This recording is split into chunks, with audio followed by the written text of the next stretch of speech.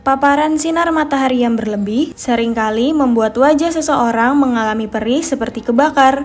Tak hanya itu, paparan sinar matahari juga menjadi faktor yang membuat tanda-tanda penuaan di wajah cepat muncul.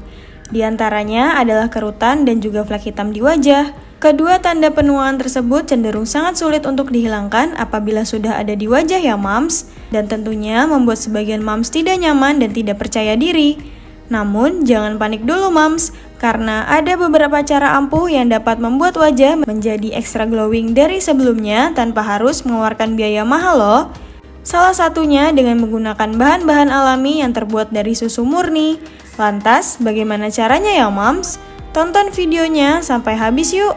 Dan jangan lupa like, komen, dan share videonya subscribe YouTube Nakita Channel, dan juga nyalakan lonceng notifikasi supaya Moms tidak ketinggalan informasi terbaru dari Nakita.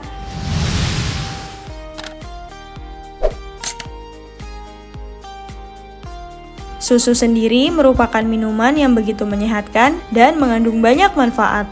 Akan tetapi, manfaat susu untuk kecantikan juga tidak bisa diragukan lagi, Mams. Salah satu manfaat dari susu murni ialah untuk membantu wajah Mams menjadi lebih glowing dan tentunya membasmi flek dan komedo nakal yang ada di wajah Mams loh. Melansir dari NDTV, susu juga memiliki kandungan asam laktat yang sering digunakan dalam chemical peeling untuk mencerahkan dan memutihkan kulit. Untuk menghilangkan flek hitam di wajah dengan susu, berikut caranya moms. Pertama, siapkan satu gelas susu segar dan kapas. Dua, masukkan kapas ke dalam susu segar tersebut. Tiga, jika sudah, oleskan ke flek hitam pada wajah. Empat, biarkan mengering dan kemudian bilas dengan air hangat.